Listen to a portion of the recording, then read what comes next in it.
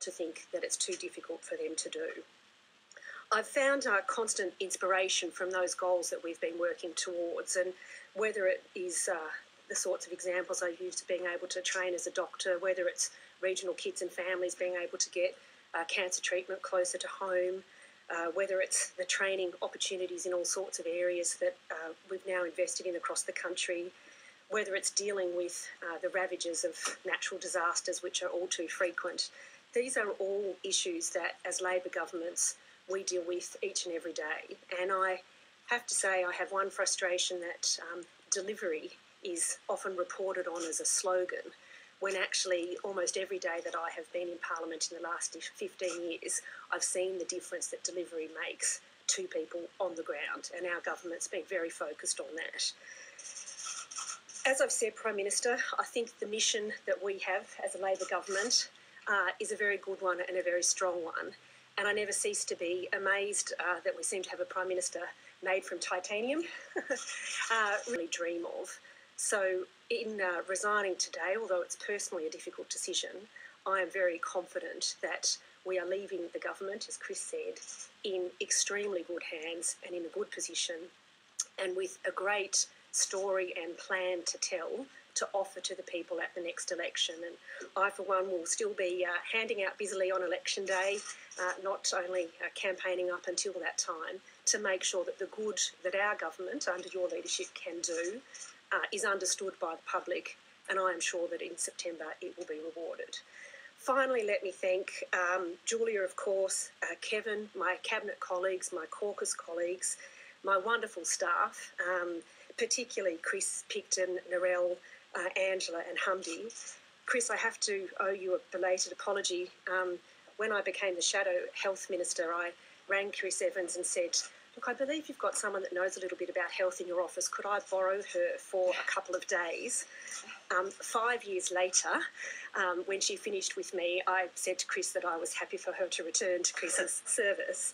Um, and it just goes to show, I think, that amongst the Labor staff, we have very capable, very talented people many of them who've been with us for very long periods of time.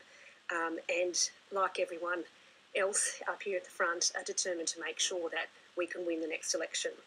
I want to thank the people of Gellibrand for their confidence in me and their support, and for their endless politeness at the supermarket. Um, always saying we're a bit surprised to see you here, but uh, we're glad that Julia gives you time to do this. I would have been quite glad if she didn't give me time to do the supermarket shopping, actually. Um, and can I also particularly thank the Labor Party uh, and my family, the incredibly steadfast Michael uh, and my amazing mum, not to mention my sister and others who've made this possible for me. Thank you. Prime Minister.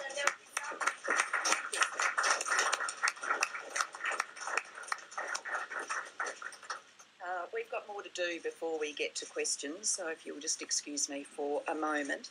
Uh, what I want to do now uh, is announce uh, who is going to fill these incredibly big shoes, and incredibly big shoes they are, as you've just heard.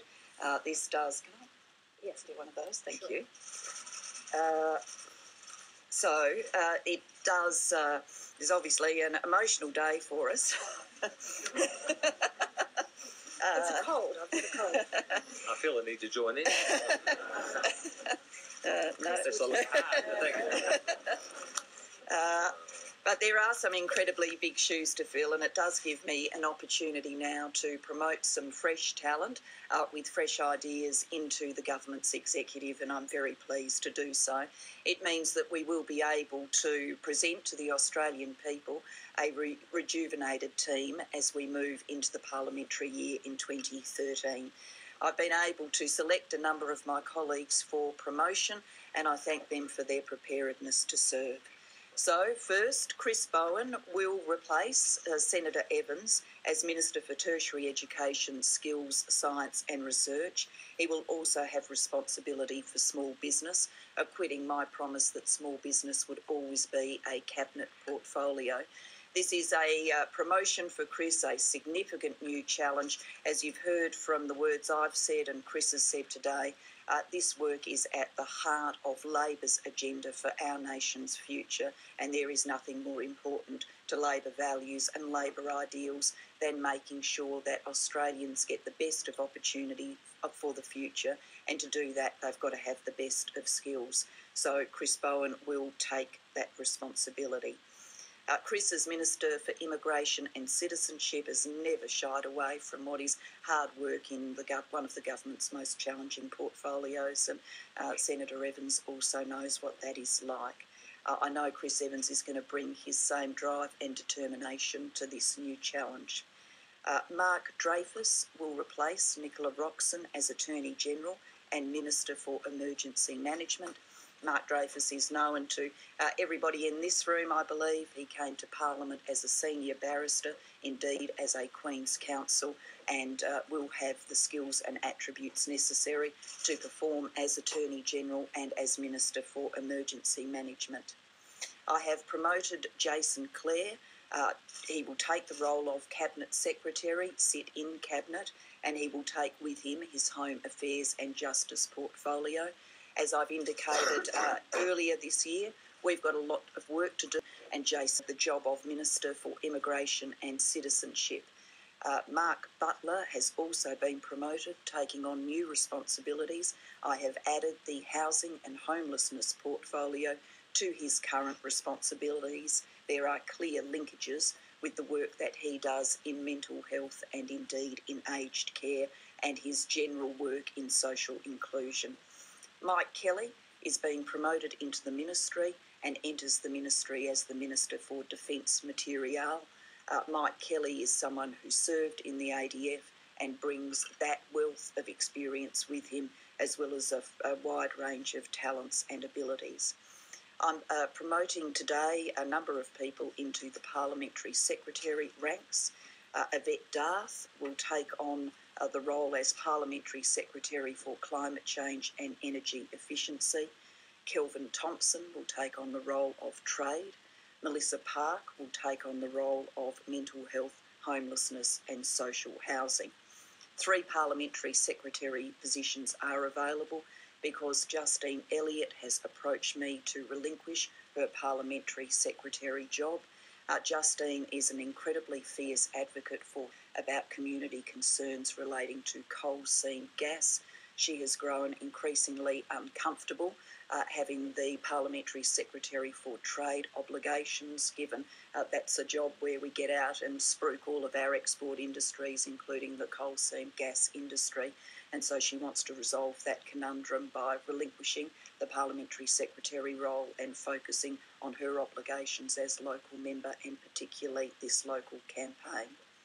In terms of the Senate leadership, uh, that is uh, not for me to decide, that is for Labor caucus to decide. Uh, I respect that my caucus colleagues will come together on Monday and make a decision about the future Senate leadership. Uh, so that is for caucus, and I won't engage in any speculation about that ballot. The decision will be made on Monday. Uh, the swearing in for the new ministers will also occur on um, some uh, uh, commitments next week, including uh, going to Antarctica. Uh, not something that can be moved around, uh, given she's there for uh, some commemorations related to Mawson. so we will get on with the swearing in on Monday. So that's enough from me, apart from saying I'll you know, I'll uh, miss my colleagues very much in the future, but I know that I will continue to see them uh, as human beings for a long, long time to come. Yes, Phil. Senator Evans said, you said it 12 months ago. But asking about the timing of this announcement, why you didn't do it before Christmas, and we appreciate that outside today this looks very chaotic. I thought it's going to take a couple of weeks for you this year. Oh. Well, well, I, I uh, don't don't agree with that analysis at all. This is precisely the right time because Parliament will resume next week uh, which gives my caucus colleagues an opportunity to deliver their judgment on who should be the next Senate leader in a timely way. Uh, so that we can get on with the job as Parliament comes together. Uh, I've always uh, had it in my mind that this was the appropriate time uh, to announce new arrangements as we move back into the parliamentary session.